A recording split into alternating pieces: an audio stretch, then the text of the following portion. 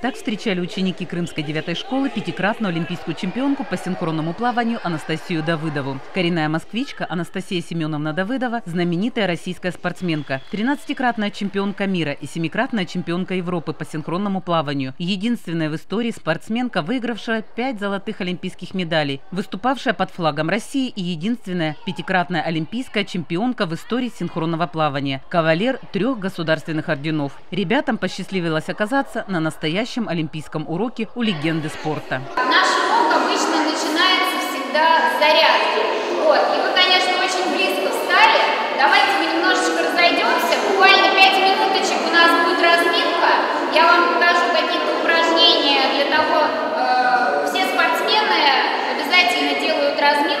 тем, как тренироваться, чтобы не получить травму. Звезда российского спорта поведала школьникам о начале олимпийского движения и о его основателях, о том, что пять колец олимпийской символики обозначают единение и дружбу народов. Рассказы об истории Олимпийских игр сопровождались красочными иллюстрациями. И начну я свой рассказ с человека, благодаря которому мы сейчас все можем наблюдать Олимпийские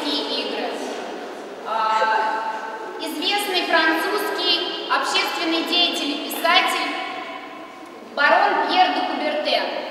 Он является основателем э, современных Олимпийских игр э, и в конце 19 века, в 1896 году э, в столице Греции, в Афинах, состоялись первые Олимпийские игры современной истории. Во время урока ученики участвовали в викторине, отвечали на вопросы о спорте. Вместо пятерок за правильные ответы они получали сувениры. Вспомнили на занятии в спортзале и о приближающейся зимней Олимпиаде.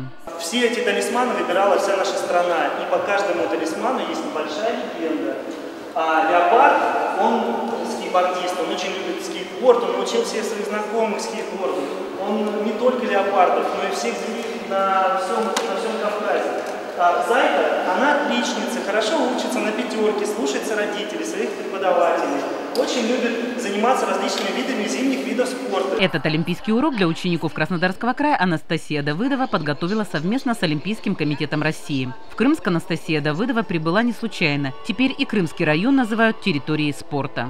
Светлана Поляруш, Анатолий Мазжухин, Новости 24 Крымск.